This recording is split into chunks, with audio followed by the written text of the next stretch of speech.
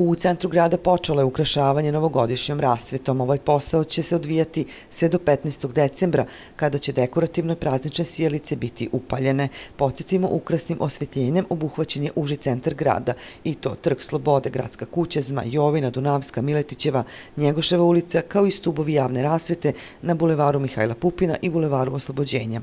Poslednje će se postavljati ukrasne kugle koje su i prošle godine krasile plato ispred Gradske kuće. To su ukrasi ispred gradske kuće na Trgu Slobode, znači trodimenzionalni ukrasi, svetleći lukovi, sećaju se građani i fontane i one velike kugle, i irvasa, i saonica, i svetlećih, svetlećih stabala, e, da bi što kraće vremena ti ukrasi zapravo bili na, na, ome, na izloženi jer se nalaze u, u parteru.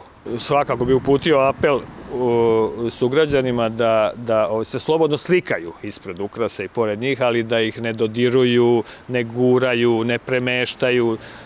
Imali smo slučajeve i da se penju na njih, dolazi do oštećenja. Ukrasi su pod naponom, nisu opasni, nisu opasni, postavljene, postavljene su naponske zaštite, ali bez obzira na to, znači da ih čuvamo, da ih imamo iz sledeće godine. Ove godine nije bilo kupovine novih ukrasa. Iz javno-komunalnog preduzeća Stan kažu da neće samo centar grada biti ukrašen, već i neke zdravstvene ustanove u gradu. Postavljamo i jelku u dvorište dečije bolnice, pa se, znači, zatim jedno stablo se e, ukrašava u betani i jedna jelka se postavlja u urgentnom centru, u krugu urgentnog centra.